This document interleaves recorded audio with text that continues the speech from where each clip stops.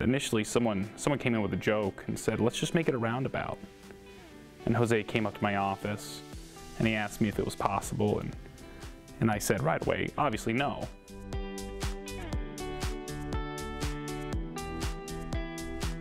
I'm Tim Miner and I'm a project manager with the Northwest District. So initially, our electricians were going to do a full changeover on the intersection with new heads, new controllers, and as they were looking at the traffic control for that, they were faced with the prospect of, of needing about eight flaggers for a full week and having them flag roads that are 60 miles per hour. And initially, someone, someone came in with a joke and said, let's just make it a roundabout. And Jose came up to my office and he asked me if it was possible and, and I said right away, obviously no. Then I measured it, did some radiuses and then checked some of the turning movements and, and I came to a realization that you know this, this could happen. Then we came up with a, with a preliminary drawing, preliminary traffic control, brought it to our maintenance staff, got some of their input, and before we knew it we had a good plan that we could implement. Instead of using the normal um, concrete islands and um, signing, permanent signing.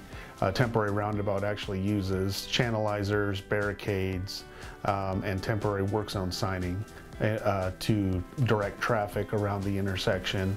My name is Jose Rodriguez and I'm the uh, Northwest District uh, resident engineer over materials department. So a temporary roundabout is um, it's a new it's a different type of traffic control uh, that is used for closing off the intersections to allow uh, maintenance and traffic signal departments, any kind of maintenance crews to uh, work on the inside of the intersection um, while directing traffic around the intersection. It kind of moves traffic the traffic that normally travels through, um, it actually directs them around the intersection, uh, similar to what a permanent roundabout would be. So in this case, we went from having work that would take a, full week and we reduced it down to just one day. But more importantly than the speed of the work is, is the safety implement of it. We went from having eight flaggers for eight hours a day for five days down to having no flaggers. Getting a 60 mile per hour facility flagged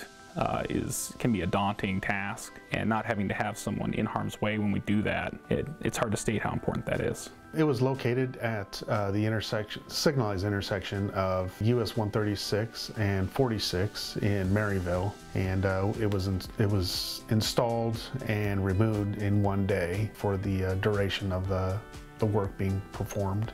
Before we implemented the temporary roundabout, we had a lot of comments. People didn't think it was going to work. People thought trucks wouldn't be able to get through it. People thought that it was it was just going to cause a lot of crashes and confusion. And then after after we did the roundabout, people came out in droves saying it worked fantastically. It worked better than the normal intersection. And many people asked if we were going to make it permanent. Decision was how to effectively move the traveling public from point A to point B. You know, and uh, by doing this temporary roundabout, uh, they were able to keep the traffic flowing and efficiently move people from point A to point B a lot better than uh, having them delayed. Marty Liles, I am the district engineer for the Northwest District. Really it's a, a testament on the fact of how um, many of our, our divisions and our departments came together, community relations, traffic, maintenance, uh, to really get a lot of that public outreach early on and inform the traveling public of it. But then the results of having a good plan set aside and uh, and then implementing that plan.